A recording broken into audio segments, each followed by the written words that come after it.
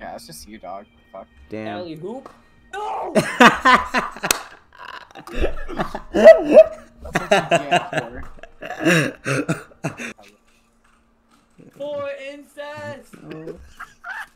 no, please. No. You having fun? No, no. Damn, Angel just got ice. Okay. For incest. Dude, being a terrorist is actually kind of positive. Yeah, we gotta get all these bombs. Oh, it's fine. She's a teenager. That's I'm why I a lo- teenager. And that's why I like men booty more. Mosquito, I want your ball sacks, bro. Are they sweaty? Like Brandon's. Caden was like, "Yo, Tristan, if you ever wanted to fuck, I'd be down." And I was like, "Um, I'm okay." And you took it up, right? Mm-hmm. Absolutely. We had sex that day. Swear to God, if I see a